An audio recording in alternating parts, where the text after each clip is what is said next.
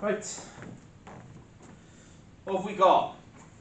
Good stories. Assassin's Creed 2, Assassin's Creed 2, why? good story, revenge. Revenge is always a good motivator, I feel. That's why I work in this job. Um, depth. depth, charismatic character, interesting big cast of characters. Uh, the missions all play into character motivations and story and all that. Yeah. Okay. Well, that sounds, sounds fine to me. Um, I haven't played it. Yeah. No, I can't. Never played any of the Assassin's Creed uh, games for some unbeknownst reasons. It was one of those things that's passed me by. But, yeah, um, sounds right up my street to be fair. Um, any more? Undertale. Undertale. Explain why. I think the story is really good because number one, you can like kind of change it up because you can do two different routes. And it's, like games like that, where you can like roller skate, you can do the same thing, you can do different routes if you want. Um, but I just think Undertale is a really good story, and I just think it's a very very good game. And if I play, it, I get very immersed in what's gonna happen next in the story. in the story itself, Yeah. as well as the action. Yeah. What we have here is the difference between two types of game then. So um, Assassin's Creed and games like it will have a main storyline which is linear in format. Here we have a branching, um, you know, a structure of a story itself where at certain points in the game, the game can take different narratives depending on the player action. So in that context, oh, that's still not a fully open storyline mm-hmm. because the storyline is still dictated to an extent by how the game has been written, but you do have options as to how the story unfolds. Yeah. In fact, many popular games actually do really depend on a linear storyline, but then allow you some freedom outside of that linear storyline to develop other kind of story techniques yourself. But it's also a popular way to branch. Like games like Infamous or something with an evil good or bad, a good meter or bad meter. It's a very simple. Yeah, and in, in a mechanism like that allows you to develop an internal storyline to the game, and that's actually an important thing which I'll touch upon in the lecture as well, that idea of being able to develop internal depth to the storyline through a mechanism like um, a morality meter, for example. It gives you uh, the ability to build a backstory to the character which is you know, beyond what is given to you in the story. Other games? It takes two. It Takes Two. Why? Uh, I really like the fact that you have to cooperate, so you have to play with another person, and it's very like intuitive. So you, you they don't really give you many like suggestions on what to do. You gotta kind of figure it out, and so you gotta kind of come up with a strategy. And I, re- I really like it. It really gets me in a state of flow. The only thing is that you can't skip the story. You have to watch it, and it's like sometimes it drives me nuts because I'm like I just wanna Does anyone do this and skip through the story? all of it. Yeah. Like, you know, the, especially when stories are presented in cutaway, does anyone just rip through and doesn't care about the story? I gotta be honest, that is something I do a lot. Mm-hmm. I, in particular, this is this is a hangover in many ways for me. I know why I do this. When I was what twenty, I put a inordinate amount of time into a game called Metal Gear Solid. Metal Gear Solid, the original one, is notorious for the vast amounts of cutaway scenes in it, including the ending, which is about 40 minutes long, which you can't skip, which you literally do nothing in. You sit and watch for 40 minutes. It's like a very long, crap television show. Because of that, that has indoctrinated me to like, if I, as soon as that little button comes up in the corner that says press X to skip, I do hit and then I miss a huge. I mean, I have no idea why Arthur Morgan is like he is, to be quite honest. But fuck, I'm not watching that shit. I'm moving on to the next bit. you know, um, maybe not in that one, but uh, it's certainly a lot of games. I've played through a lot of games, and it's like I'd sit afterwards and think I'm not really sure why all that happened, but it was okay. Like, you know, and then I could, if I want to find out the story, I can go and watch it on YouTube. Yeah. And at the end of the day, you know, if I really want to fill in those details, but yeah um, exposure to early cutaway games really did Think. And this is another interesting from the gaming from gaming history. Back in the mid '90s, a lot of game uh, game development companies toyed with something called full motion video games, where there are this really bad live action games going on, where you you were trapped in the story, you couldn't skip or anything like that. So you watch this horrendous acting because obviously video game developers weren't film studios, so they couldn't hire good actors. So they literally had like sub porno actors involved, like people who could not act at all, and you had to sit through all this shit. And then you and then you pressed like C for the next bit, and that was the game. And then that really puts you off having to be exposed to a story in many ways. Right? So our experience with stories can be different. Any other examples of good stories? Last. Why? I was hoping somebody would say this. I know, I'm thinking just because it's, it's had its own TV series now that's been really successful. It You watched quite it? a lot of, I watched it. The second one's just been announced as well. Yeah, which I assume is based on Last of Us 2, right? Yeah. Which everyone's a bit over the about weekend they have decided to already begin the cash in on. I don't know Yeah. if anyone saw this, but Last of Us 2 Remastered is coming out in January.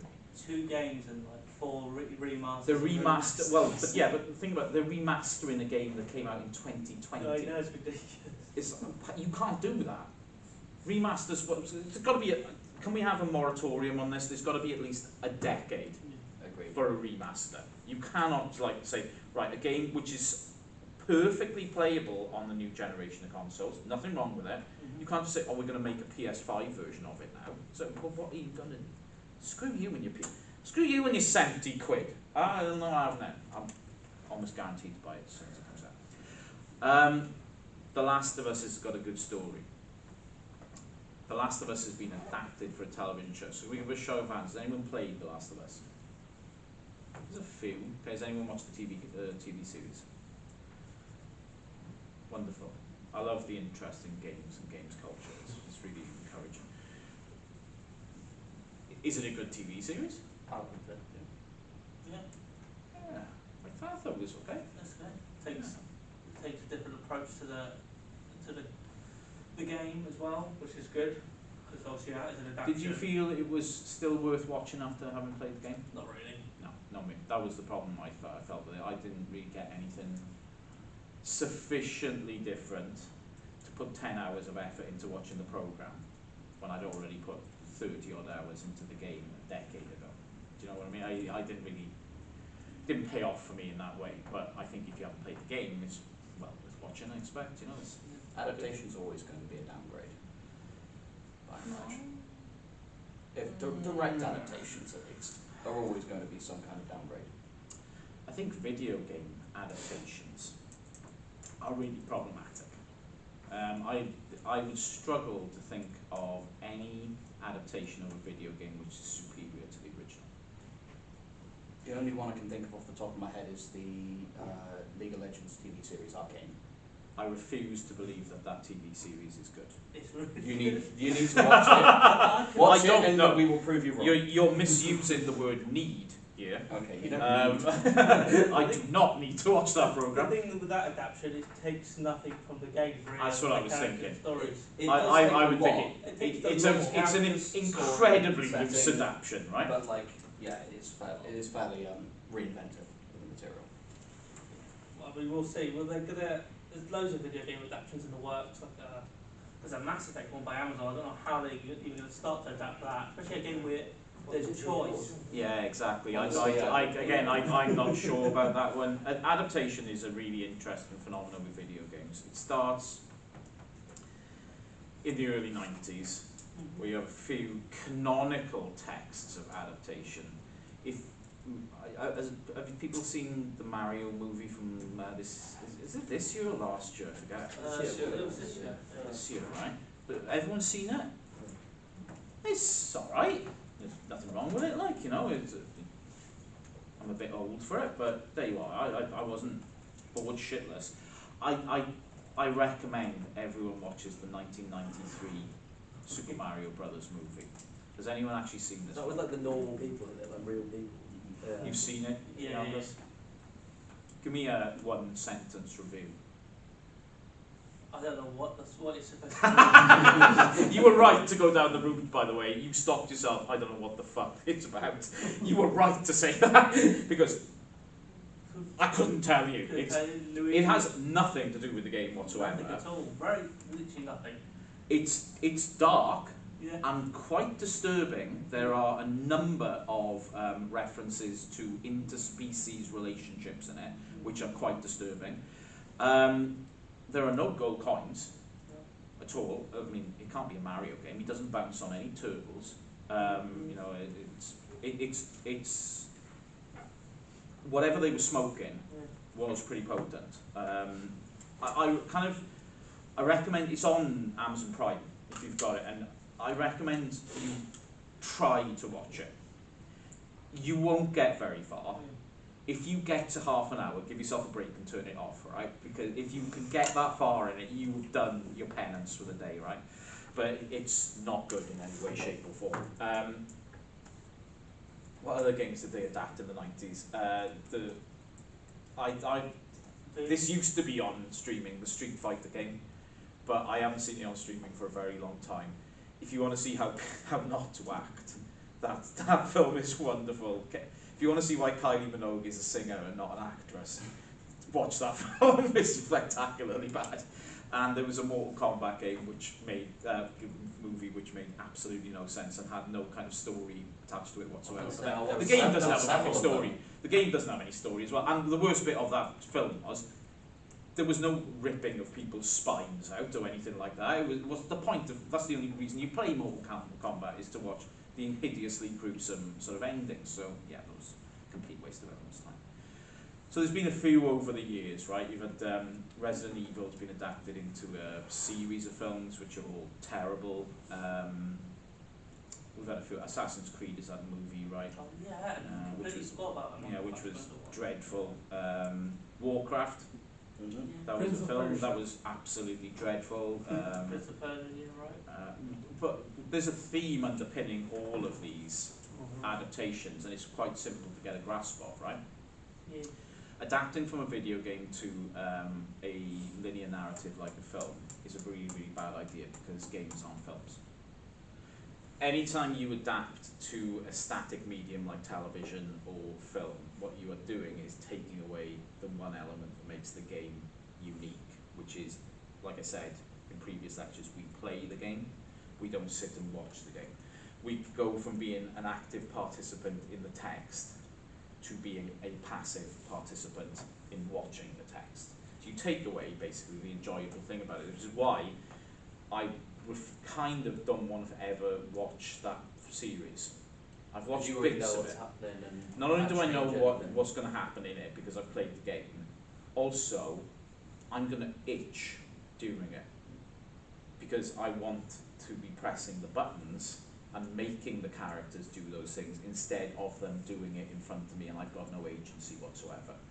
It, it would annoy me intensely to do that. Things like Sonic and Mario films are a little different because like those Sonic movies really don't have a great deal to do with the games. Because they're more franchises than Exactly, yeah, and I, and I think that stands for the Super Mario movie as well, and I'm sure that's that's going to run into like four, five sequels fairly quickly as well. But something like Last of Us, which tries to recreate it, Assassin's Creed is, an, is a good example of this. It's like the film is like my only takeaway. I, I didn't actually finish the film because it was fairly dreadful, but I, I looked at it and thought, well, why am I sitting here watching this when I could just go, I could go down to CEX, buy the game for a tenner, It doesn't and help have a better not- experience, you know. Yeah, it doesn't help that the films are not good. Usually, No. they, they're obviously they sell, the, they get these IPs and they think, all right, we're going to get this out for the cheapest possible Yeah, way to possible writers. and I mean, it, it's been muted over the years. A lot of games have been muted for adaptation over the years. In particular, the Rockstar games have been muted. And that would be a really bad idea. I think they got quite far with doing Bully as a TV show.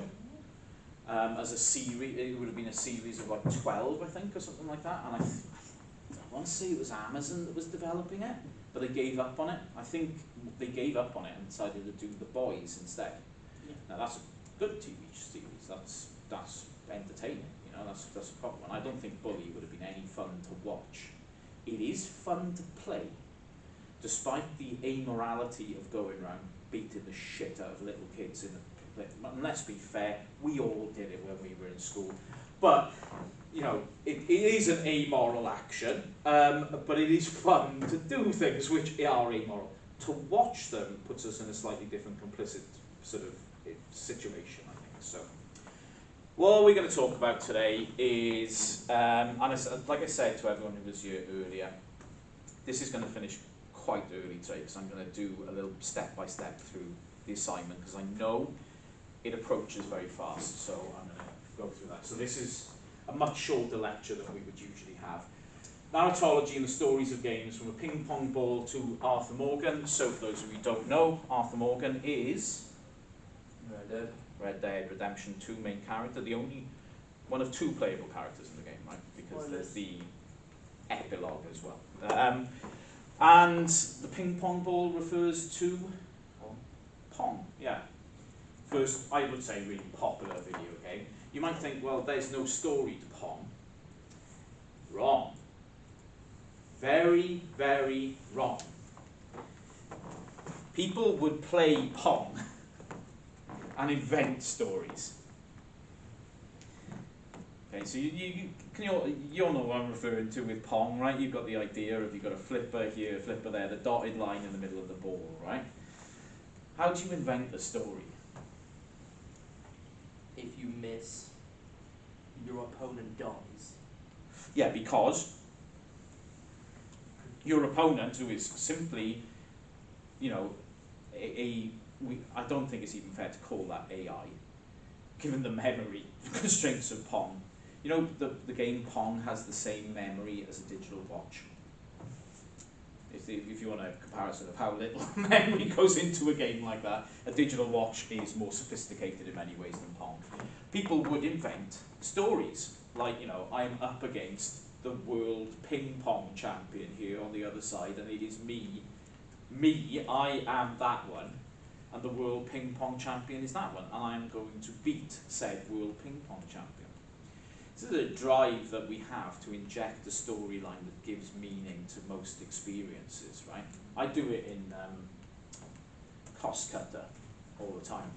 If there's a long queue in Cost Cutter, right, and I'm trying to get my you know, grapes and fucking coke, um, I invent stories about the people in front of me in the queue. It's like this one has done seven years for, you know, abusing sheep. This one is, you know, clearly um, goes home and, you know, masturbates to children's programming. You know, etc., etc. Because they are in my way, right, and they're stopping me from achieving my goals. You know, so I have to invent ways to feel more resentment about them at that point. We do this, we don't do it like me, I hope, but we create narratives and storylines about our world all the time to help us do a very simple thing. We create narratives and stories about the world to help us make sense of the events that happen in the world.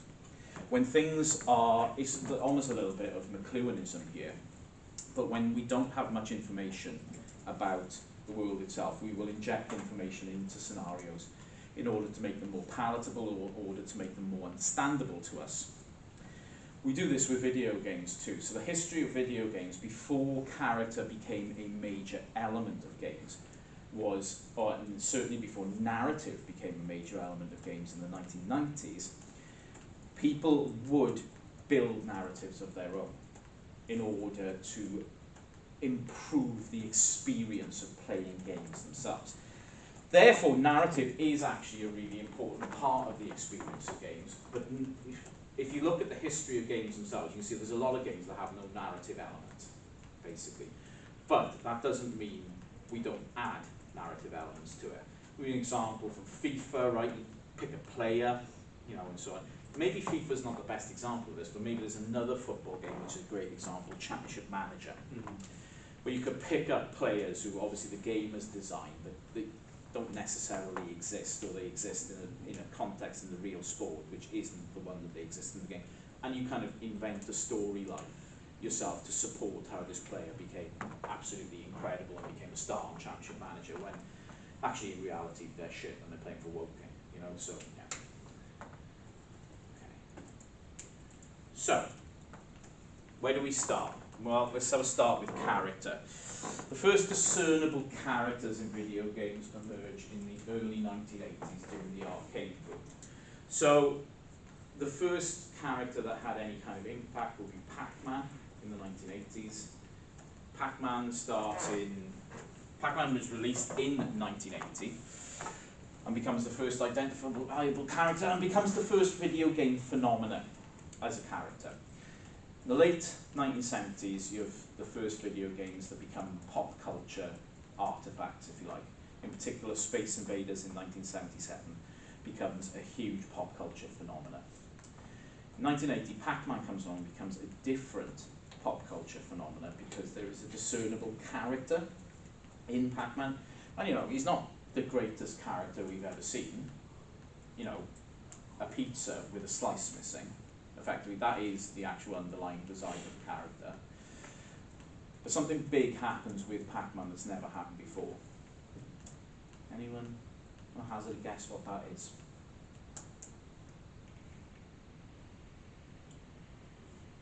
I'm looking around the room for a discernible example of it. Yeah, okay. Pass it around when you're done. Merchandising. We've got a specific term for merchandising in media um, when we talk about media texts that have merchandise which emerges amongst uh, wider culture. Does anyone know what that is? It's a word I've probably used previously in lectures. Paratext. Write it down. Pac-Man becomes the first character that has significant paratextual elements. In that, Pac-Man becomes a character which you can buy soft toys of, you can buy a wall clock of, you can buy a light of, you can buy the pencil case, you can buy the backpack, you can buy the t-shirt, you can buy the watch, right? All these sort of things, right? So Pac-Man becomes a discernible character with a, para, um, a character by which we can have paratextual relationships with. Not only having a relationship in the game, but having a discernible relationship outside of the game. That becomes incredibly important because from there you have the development of story for Pac-Man. In order to market Pac-Man as a paratextual element, you have to develop the storyline. The game itself has no story. It is simply Pac-Man is in a maze, has to eat all the little pebbles, and so on and so forth. Did you play it on uh, No. Wednesday? I didn't get a chance. Okay. We have a Pac-Man arcade machine. We built it, right? Well, You mostly, but I. I, I mostly built it, but I needed help, to be fair. Um, should see all the shelves in my house, they're fucking hanging off the wall, so I did need help. Um, so we, if anyone wants to play the original, I have, we have the arcade machine now down in the room, which is fully up and working. But first identifiable character. Now the first cut scenes emerge in 1981 with Donkey Kong. Donkey Kong, has anyone ever played Donkey Kong? Yeah? What do you have to do? We have to uh, rescue the princess of Paula. I think she's princess actually. From the Donkey Kong, you have to jump over barrels. Yeah. Which are thrown by a giant ape Gorilla. Yeah. uh, called uh, Donkey Kong, uh, and the character you are playing It's Mario. is Mario. And I don't, in the first Donkey Kong game, the character wasn't named, Yeah. so it's a, if you like, that character became Mario. There is a story to it. Now, the rescue of the princess, when you get to the top of this kind of platform-based um, snakes and ladders sort of thing that's going on, when you rescue the uh, was she a prin? I mean, she became the princess, but yeah. Um, th- that story is told in cutaways. So once you achieve the end of the level, you get a cutaway scene, and then you go on to the next level because you know so on. So you actually start to see the development of a narrative here, albeit it's a fairly thin narrative. You know, this gigantic rip-off of King Kong is pinching your girlfriend every five minutes, basically, and then throwing barrels at you. It's not War and Peace, but it's a start. Um, the damsel in distress narrative is, without doubt, the most popular narrative in the video game genre. and in the video game. In video game media, the idea of um, the whole purpose of the story of a game is to rescue a woman who has got in trouble is almost certainly like the most popular. Why, why, why might I raise this as an issue? What's wrong with this picture? That's on the role of women in games. For a long while. Traditionally, and it's something that we've touched upon before, the development of narrative in games positioned female characters as having zero agency in games at all. All agency is the domain of male characters. Female characters are simply there to drive the narrative forward by very often doing stupid things, um, which is not great. Indeed, my favourite video game of all time, uh, Ghouls and Ghosts for the Sega Mega Drive. Again, Lo- the demon Loki comes up from hell, steals Arthur's girlfriend, and then you have to go through six levels to defeat. Well, actually, go through five levels. Then you have to start all over again, go through six levels in one of the hardest video games ever made, and then you rescue the princess at the end. And guess what happens in the next version? She gets kidnapped again by Loki, and then so on and so forth. Right? Very, very popular um, storyline, but very, very um, problematic. At the start then of video games, we have things like Space War and Pong, no discernible story, but you do get elements right from the beginning that people will invent narratives in order to make this emaciated game environment more interesting to them. If you're playing Space War, you know, I'm on this spaceship. You know, I, I'm, I'm traveling through, I'm, I'm a Star Trek nerd, right? I'm, I'm traveling through deep space on this spaceship and oh my god, here come these dots, which are other spaceships who are coming to kill me, and I'm going to do something about it. Today, we have rich stories and fully realized environments. The question you always have to ask yourself is this Is this down to the narrative itself? Narrative, this is the root of one of the biggest debates in game studies in total. And there are people that I work with in this university that have the wrong opinion on this, and I have the right opinion on this. There are people in this university who will say the reason why games are so immersive and rich today is because of the narrative that they provide for players. What I will say to them is no, you are wrong, and you are very, very wrong, and you are so wrong you need to leave my presence right now because it's actually the narrative is a function of the game itself. Narrative doesn't sit outside of the fact that we play.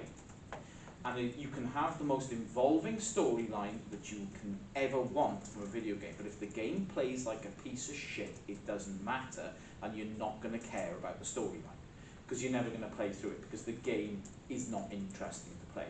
The storyline and the game are interlinked with one another. You don't care about the story if the game isn't a pleasurable experience. So the ludology, as we call it, how the game is played, is as important, if not more important, than the narrative elements of the game. And ludology's always been the key to it. If I go back to those early games, if they were terrible to play, nobody would have invented those stories about like what the purpose of the game is. Nobody would have cared. If Pac-Man was an awful game to play, nobody would have cared about Pac-Man's backstory, which is a genuine thing, which has been written, which there are canonical and non-canonical versions of. Unbelievably.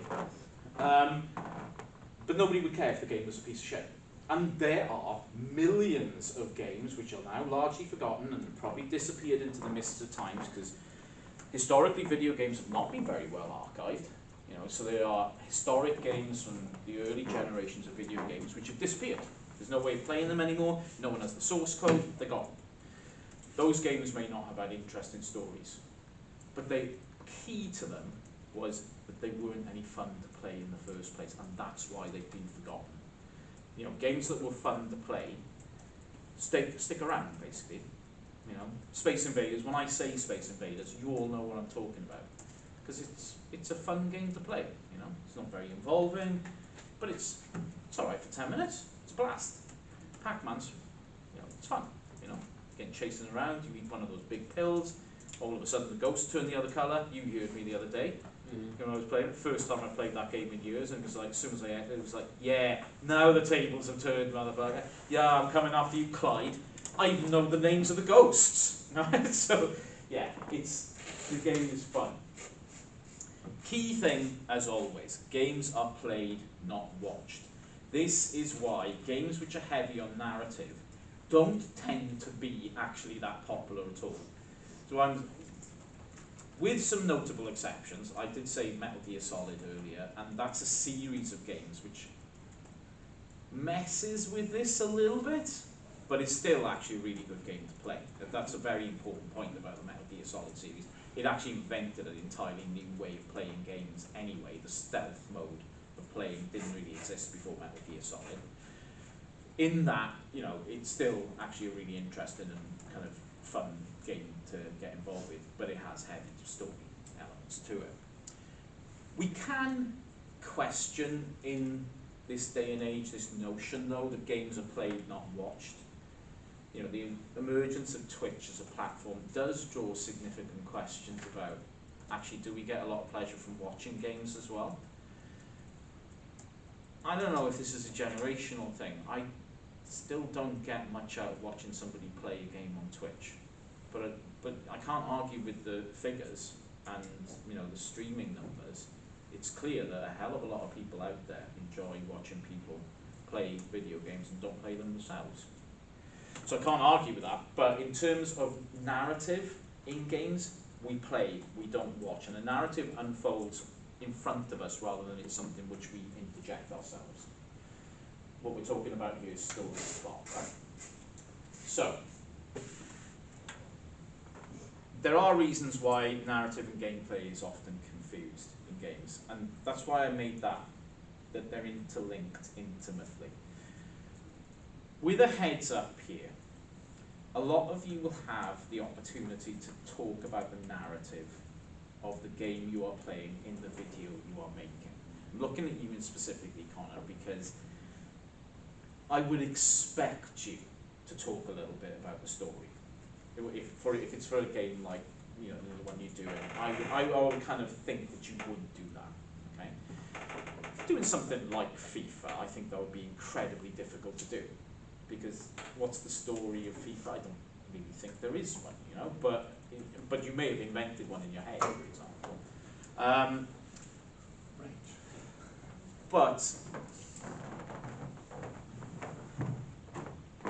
it's easy to confuse these two elements, I think gameplay and narrative. Now, the reason why it's easy to confuse is because they are, in a well made game, gameplay and narrative are fused together. They are interlinked intimately. They don't sit apart from one another. What you are asked to do in the game powers the narrative, and the narrative contextualizes what you are asked to do. So they're always working in parallel with one another in a very well designed game, is. You can always tell if a game isn't particularly well designed if the one sits apart from the other and they don't really link with one another. You know, if, if there's a story going on here which has nothing to do, and I think, are they getting, yeah, there's a hell of a lot of games like this. Yeah, I am. Um, Watchdog series. We, do you know what I'm talking about? Watchdog. Has anyone played Watchdog Legion? The one set in London. It's shit. With a caveat, it is, but it's shipped for a very specific reason. There's a really interesting story, and I, I do mean a really interesting story, but it's about like a, a near future London. There's some really interesting parts of the game, and the rendering of London is incredibly interesting. The rendering of London's really accurate. It's like you, you- you're walking around, and it's like, I've walked here. You know, uh, you, you know, you can actually picture yourself doing the walking, like. And this game has a really interesting sort of neo-fascist storyline where, you know, Britain's been taken over by a fascist government and the purpose of the game here is to utilise flaws in the massive surveillance system that the government utilises to control people in order to break the government itself. So there's a, there's a story that's been told a million times, but it's interesting enough. The reason why the game is shit is because you will play the first mission and then you will play the next, the first mission. And then you'll play it again. And then you'll play that first mission about 75 times in order to complete the game. There is no variation in the gameplay whatsoever. So after about an hour, you're bored, senseless with what you have to do because you literally do the same thing over and over again that, hack that. hack that, hack that, make that camera go off, blow up those two things there, mission completed, move on to the next area. Do exactly the same thing over and over again. You think, why am I doing this? So this is really, really dull. Here we have the bigger purpose of that is it's never really explained why the things that you do to do that Mm. further the purpose of the game in any way, shape or form. It, it, does, it just doesn't do that. So the game and the narrative are not linked. You want, in this case, you've kind of an interesting story, which could be the basis of a really interesting game, but the gameplay has been so poorly thought out. You know, it's, it, I, it's a laugh to do it the first time, and the second time, like, oh, okay, all right, all right. Third time, you're like, I've just done this, and you want me to do it seventy more times? Mm. You know, it, it's it's really dull. These things are always linked together in very intimate ways, and when the, one of the elements breaks down, that means you stop caring about the story as well. You really don't care. You know, you're like, oh, I don't care if Britain's turned into a fascist country. To be honest, this is really dull. You know, give me something better to do. Now, Jesper Juul, who's somebody we've encountered in this module, the player can tell a story of a game session. Does anyone do this? Play a game for a while and you tell the story of what happened in your head. Yeah, something I do. Something I do fairly often. Many games, of course, contain narrative elements, and video games and narratives share some structural issues, but games and games and not stories. So, because of these reasons, because there are some structural similarities between games and stories, we do confuse them in that way. What we should not do is confuse them, you should say game and narrative is the same thing. We've got to recognise that they are different to one another, and in, in the best instances of games, they are co-constructive elements. So the game and the narrative work together to create the experience. If we have a positive experience playing a game, a particular type of game, then it's game and narrative that work hand in hand one, with one another to create that experience itself. They don't, in successful games, exist independently of one another, and they're not confused with one another either.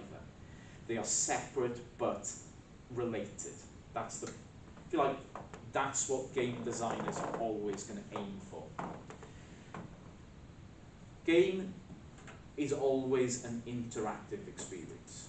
If you are playing, I can't think of how you could play a game in a non-interactive way. You are always interacting with the game in some way. Now, what Janet Murray argues is that interaction and narrative are therefore separate planes of the same experience. So, at a base level, we're always interacting with the text. The narrative sits at a different level of understanding of the same text. It's like we have two ways we can interpret it. We have a game way of interpreting, we have a narrative way of interpreting. And because of that, what Murray calls games is what we call symbolic dramas.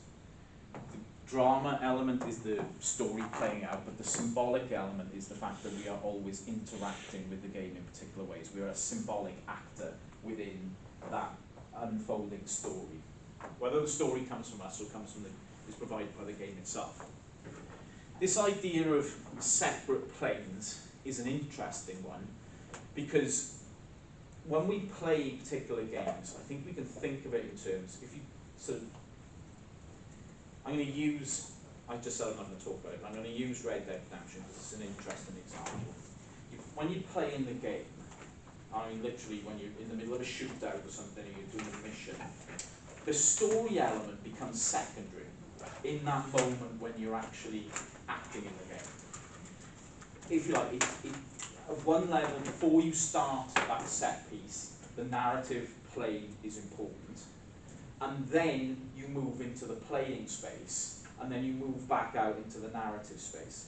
So what Murray is talking, I don't think Janet Murray is wrong in any way, but I think she's talking about certain type of game design here, where that narrative and the game kind of swap over in terms of attention as you progress through it.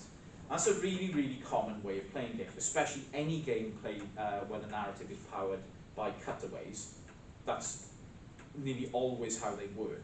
So you have moments where the gameplay is the important thing, and then other moments where you're taken out of that to, in order for the story to progress. They are linked with one another, and you know what you do powers that other thing, but they swap in terms of attention. Now, if you think of, I've used the Outer Worlds here, so we skip to the Outer Wilds. Do you, from what I understand, that's not a very cutaway heavy Not at all. exactly. So this is where, do you want to uh, explain a little bit how, if anything, story works in it for me, Kyriakos? Story mostly driven just from your own context, and other than the ending, Yeah. there's a few cutscenes. Uh, basically, the story is you discovering what's going on and how to fix the situation by exploration. Minor spoilers. Uh, basically, the the the universe that the solar system keeps supernovaing, so the sun keeps exploding. Right. but it resets the time, and you've got 20 minutes in game to, to chain, uh, find stuff out. The more you find stuff out, it adds to your log, and then the game becomes more about how you can quickly find out information. And once you find out how the ending, it's a race against time to Did it, come, did it come out before Deathloop? Uh, yeah. It did. Okay, so Deathloop stole this from that game. Okay, because it's because it's incredibly simple um, in how that's done. So in that version, now that kind of game, I don't think Murray's distinction between those two elements, the, that, that idea of separate planes works. So what I'd say is that Janet Murray's explanation here of how interactivity is an important part of the link between narrative and gameplay works for some games, but it won't work for all. For, and the- the other one that I was thinking of as an example for this, but I was pretty sure the Outer Wilds fitted to this, but it was Deathloop. And I don't know if anyone's familiar with Deathloop, but it's one of these endlessly repetitive sort of game scenarios. You play an assassin Yeah. and you have to kill another assassin, but you don't know why. And as you play the game further and further and you progress, you understand what the story is as you play it, basically. The story unfolds for you in a sort of a real time environment, but you're actually chasing the story rather than you're playing the game in order to understand what the story is, basically. And then once you kind of unlock the story, you get to the point where you can kill the other assassin then, you know. So it's in that sense, I don't think interactivity and narrative exist on separate planes to one another mm. because they're actually one and the same thing in this case. So, whereas I think Murray's right about this, I think she's right about it in when we talk about a certain class of game rather than all games. But that notion of the symbolic drama, I think, is a particularly useful little shorthand to do. One thing we should always think about in terms of narrative is the idea of space. Game space and narrative, and powerful uh, factor engaging players and giving them the sense that they're inhabiting a place rather than perceiving a representation of space, is the idea of story. When designers create, if like, the game space themselves, we will need some kind of story to explain to us what that space is, why we are in it even for something I think like the Outer Wilds, that mechanism of the supernova Mm-hmm. provides a story context for why the space is as it is Yeah. and what we need to do with it. Right? So because of that, how designers go about creating game spaces is a foundational aspect of what the narrative of the story is going to be, effectively. Where does this take place? When does it take place? How does it take place? What are the elements of the space that we are in? Will all provide narrative elements for us. And one of the key things that games can do which other stories can't do. You think of films, even to a certain extent, I think, well, more than a certain extent, a very large extent, novels. It is the role of the author or writer or director to tell you why that world is like it is. But instead, with video games, what we can do is explore that space, and the narrative will unfold from that exploration, which can be a mechanism of the gameplay itself. So the more we explore it, the more we understand what that space is. It's a classic example of uh, how Rockstar developed their game spaces. They allow a sense of vast movement in it because you can you, you get more depth to the actual space that you're in from more interactions you have, more side missions you do, etc. You understand that space better. That then gives you more depth of experience in the world itself. In particular, that goes for how they've developed their online spaces. I think even more than the games, the actual game text themselves. So one of the underrated things with video games is how space creates narrative, basically. And you, you know, I think then, therefore, that Outer Wilds example is really interesting because at one level you can look at the space and think, what am I supposed to do here? But that's not how it works. Yeah, Outer Wilds is literally the space defines the narrative yes. in a way. You're, the, way you learn about the story is through exploring the space. And it's, it's far from the first game that has taken this approach. Actually, going out and explore, I mean, I tell you, it's far from the first game, because I think the first game that does define this approach is the Oregon Trail, which is a game which is uh, created in uh, 40 years ago, actually, 1983, where you are given a really emaciated sort of visual space. You make your way through the game space and you are given the story as it goes through and what the classic line from it is oh no you have all died of dysentery. You've done it you've gone through it wrong if you've done it th- th- that way but yeah don't don't die of dysentery. Okay that's going to be a really bad way to go. Um, this is a very rare way of doing things to be fair. I think obviously the outer wild sounds like one the classic games that do this in their most bleak and awful form is Dark Souls. Do we have any Dark Souls players? Yeah. It's good Dark Souls, isn't it? Yeah. It's good for getting frustrated. it's good for getting deep. Dark Souls, um, I love the Dark Souls games because they're a throwback. They're a throwback to my youth where video game playing was often characterized by instant and rapid death over and over and over again until you learned how to do something to the pixel perfect degree and you couldn't get past something until you did that. So you would die and die and die about a thousand times. You would curse everyone. You would go down for your tea and your mother would give you a plate of chips and beans and whatever and you would throw it against the fucking wall because you would be so frustrated about what was happening in this video game.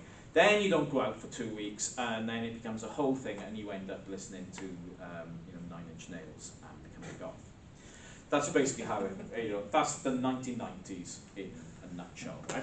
Now, Dark Souls is a wonderful example of this because you don't know what the fuck is going on. You have to explore the world in order to understand what the hell is going on, and then you get killed over and over and over again until you work out what's going on. It's I think it's a bit of a cheat because I actually don't think there's that much going on in those games, but it, but it is a kind of a cheat mechanism to get you exploring. By and large, most of the plot in FromSoft's like Dark Souls, Elden Ring, Bloodborne, most of the plot has already happened, Mm. and you are kind of just your your role in the narrative is largely to pick up the pieces in the aftermath of everything. Absolutely, yeah. It's kind of a cheat, but you don't know that until No. you've actually done that bit of work to get there. So, again, as a heads up for what you're going to be submitting, you might want to think about the game space itself and how that influences how you understand what's going on in the game and how you influ- and how that influences your understanding of the story of it as well. It's an incredibly important part of how we, we play games. But much more fundamental than that, it's a very important part of why we play certain games over and over again the game space. And this really does deserve some attention. Once I've done this spiel, we'll have a break for five minutes. But if you most people will have a game that they're quite happy to go back to, like over and over again, for years and years and years. Know, the older you are, the longer that period gets. There are games I go back to. I've got a Switch in my office, right? And when I've got five, ten minutes, I'll pull the Switch out and play a little bit. And I've got the Sega Classics collection on it. And the two games I go back to all the time are three games I go back to all the time: Sonic the Hedgehog 2, Ghouls and Ghosts, and a game called ToeJam and Earl, which was probably the first what we call roguelike um, game environment. The reason why I go back to ToeJam and Earl is really, really simple. I like the world. It takes place in this very weird sort of interpretation of planet Earth, where planet Earth is structured in 25 levels that you have to go up and down in an elevator. And the purpose of the game is you find bits of ToeJam and Earl's spaceship, and then when you've got them all on level 25, you fly off and go back home. And in the interim period, you have all these weird interactions with like belly dancers and irate teachers and kids who've got a monk on and throw things at you from a, you know, a pram and stuff like that. And it's a bit weird and fucked up, but it's it's great. I love that environment. I love that environment in 1991 when I first bought the game, and I love it 32 years on. It's a, it's a place I like to hang out in. It's a place I like to spend time in. That element of the space being somewhere where you like to be is so underestimated in video games, and it is something that you might want to tap into here. Why does the space, why is it a nice space? And that feeling of the space being good is very often intricately linked to how the space tells the story of the game. Games which are really successful at keeping people over long periods of time tend to have spaces which operate in a narrative way. The space has a richness to it that it tells a story. So it's definitely something that's worth reflecting upon. Okay, let's have five minutes and then we will trash cutscenes. Why I think cutscenes are the worst. Yeah,